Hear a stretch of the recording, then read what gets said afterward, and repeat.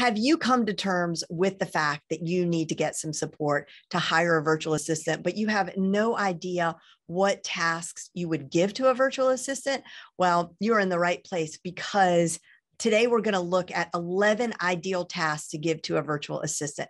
And if you're new around here, my name is Jen Lehner. I have helped hundreds of solopreneurs, coaches, course creators, authors, and subject matter experts scale their businesses by outsourcing the smart way. So let's dig into these 11 ideal tasks.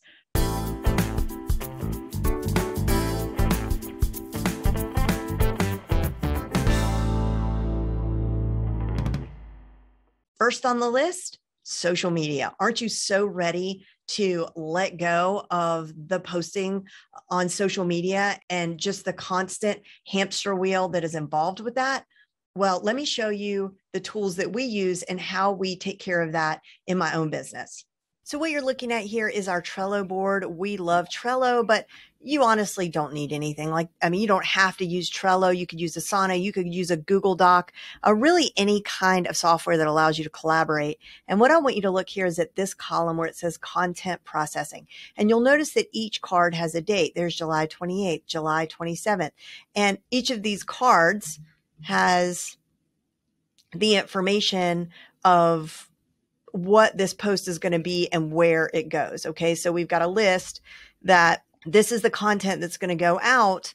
And then these are the graphics that we need. These are all the places where it needs to get published and any copy that needs to go with it, like my thoughts uh, about it or any links that need to go with it are going to be listed here as well. So like right here where it says description, this is all the copy that's going to go with this social media post. The point is, we know every day of the week what we're going to post on social media in advance.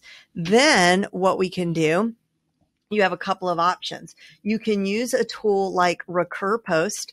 Um, this is a, a content scheduler that will post your content on all the channels where you want your content to appear. So over here on the left, you could see everywhere that we've got listed. We've got Google My Business, LinkedIn company page, LinkedIn profile, Twitter, all the places. Okay. And so what we can do is um, my team goes in and they just schedule all the content here in advance and it automatically gets published on that date. So they set it and forget it. And of course, the other thing that is so great is you, you don't need anything fancy like that because on all social media these days, you can just schedule it from right there inside the platform. So if you go to Creator Studio in Facebook, you can schedule your Instagram and your Facebook posts in advance natively right here um, in in this amazing dashboard. So I'm going to click create post. And of course, I'm not really going to be doing this. My VA is going to be doing this. We just write test, add a photo or a video or whatever you want. And right here where it says publish, we're going to schedule the post. And you just pick your time and date. So that's just a brief overview of how you your VAs can handle all your social media for you. What about inbox management? Yes, managing your emails so that when you wake up in the morning, you only have what you need to see sitting in that inbox for you. So maybe you only have two emails versus the 500 that are sitting there. And I know what you're thinking because it makes you feel a little vulnerable to have a VA in your inbox. And maybe you sort of think, like, what if they delete something I really need? Yada, yada, yada. I know exactly what you're thinking because actually, this is the last thing that I gave to my VA. I wish it would have been the first thing. Let me give you a glimpse of how we do this in my business. All right. This is a glimpse into our, or yeah, my business email account. And you're probably thinking, Jen, my Gmail does not look like that. Like it doesn't have these cool sections. I've got a video that will show you how to do that. I'll link to it down below, but this is the main thing that I want to show you. So when my VA comes in here, so for example, LinkedIn marketing. So there's this email about LinkedIn marketing. So she knows that that is probably something we're not going to save. It's not something I necessarily need to see. She might read it if she thinks there's something valuable for our business, but she'll probably just delete that or archive it. But let's suppose it's something that she thinks I really need to see that's come into my inbox. So um, we're going to pretend this email from Tamsin is something that I need to see. She's going to put a star on that. And if you look over here in the right hand quadrant, you could see all the emails that are starred that I need to pay attention to. Then if I get to the inbox first and I see something and I'm thinking, oh, this is something that my VA needs to take care of, I'll click on that star over here on the left and I'm going to click it again until I see the icon. You see how the icons are changing? So I'm looking for the little red arrow thingy right there. And what happens is if you look over here to the right under delegate, it's going to take a minute. Let me refresh it. And if you look here under delegated, you can see that's it's moved over here to this section on the right. So now Nika knows when she comes in, oh, this is something I need to take care of.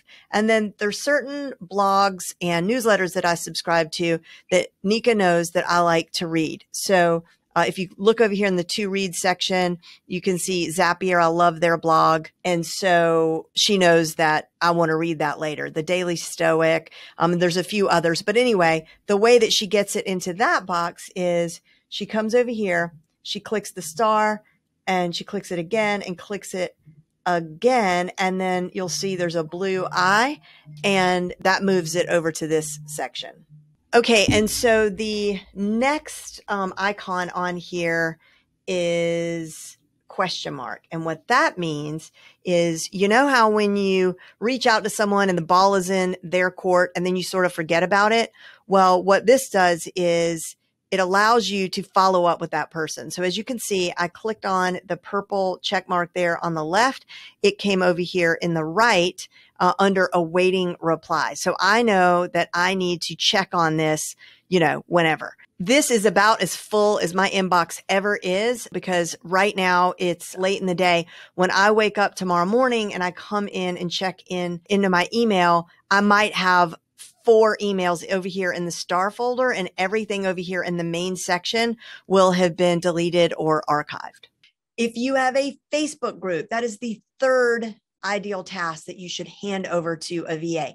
90% of the things that you do in a Facebook group are tasks that you can hand it to a VA, and they're very process driven. They're things that can be repeated weekly tasks, monthly tasks, annual tasks. For example, every month at the beginning of the month, my VAs find out through the analytics that Facebook groups give you. They just put it on a platter for you and show you your top 20 most engaged, I think it's 20 or 10 most engaged Facebook group members. Well, that's something that your VA can do. They could take a screenshot of that, post it in your Facebook group, tag each of those members, and it goes such a long way in making people feel great.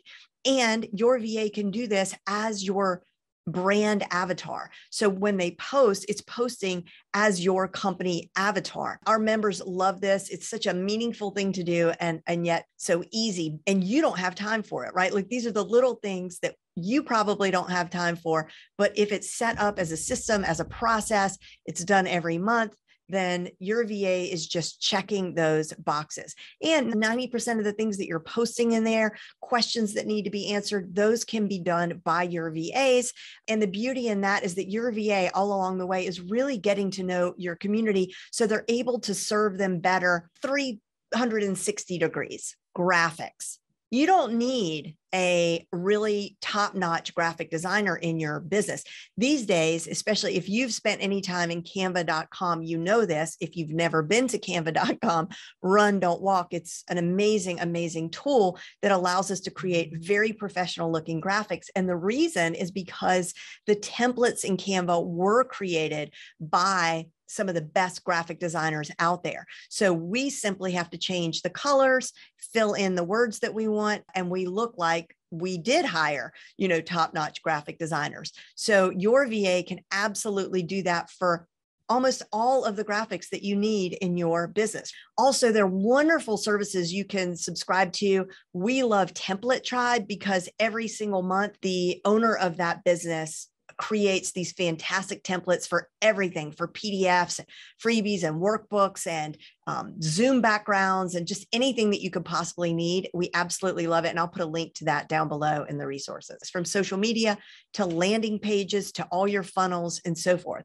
Speaking of landing pages and funnels, that brings us to our next perfect ideal task to give to your VA, and that is landing pages and opt-in boxes and all the pieces of the funnel, sales pages, um, because all these, whether you use Squarespace or Kajabi or Leadpages, whatever it is you use, they've got templates. The templates look great. Your VA can use the templates.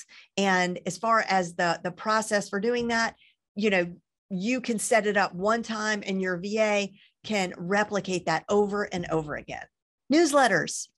Are you sending out a weekly newsletter to your audience? And if not, why not? Uh, probably because you don't have time to think of what to say every week. You're so busy with everything else. Like, who's got time for that?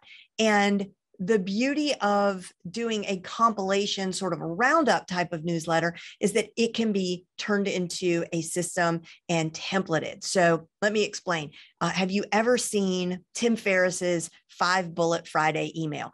Perfect example of kind of a roundup email. It's short and sweet, and he just links to five things that he's, you know, something he might be reading, a funny joke he heard, uh, a great movie that he just watched, a delicious wine that he just tasted, a, a quote that he heard, an exercise that he did, just some, but there's five of them and it comes out every single Friday like clockwork and it's great. We do something similar in my business. It's not as brief, but we do a compilation, a roundup email of social media news, things people have posted in our group, announcements, great deals that we found. We send one out on Monday to one group and we send one out on Friday to another group. This is 100% done by my team and they're just rounding up content. They're putting in the applicable links for that content, all the graphics, all the things we need. And that's consistent content that's going out twice a week that I don't really have, other than I do give it a once over before it goes out.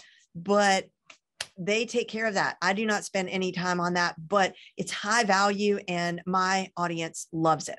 Podcast production and promotion everything from the show notes at the end to the timestamps to the transcripts that I already say transcripts to the promotional images and the little audiograms that need to be created. Every bit of that process can be done to your VA. So by your VA so that you really are just stepping into your office, getting in front of that microphone and pressing record. That is all I do for my podcast is I literally just hit record and everything else happens by my team.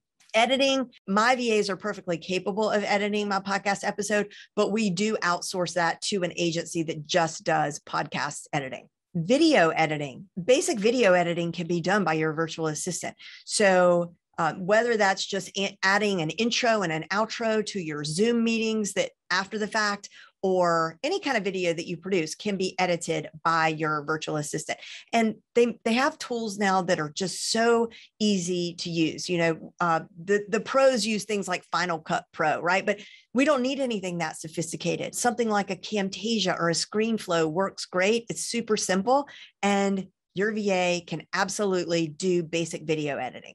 And as they get more experienced they can start to do fancier stuff Zoom replays. So that sort of ties in with videos, but it's a little more specific. If you're a coach or anyone who does regular Zoom calls for your community or your members, you know that there's so much work to do after you end that meeting because the video has to get processed, the transcripts have to get created. Uh, if you're like us, you'll put timestamps into the highlights and uh, put that in the show notes so people can easily access the information that they need. Then it needs to be sent out. The replay needs to be sent out to the relevant people who may or may not have been tagged in your email marketing system. So, um, all of that, all of that Zoom stuff that goes to your VA.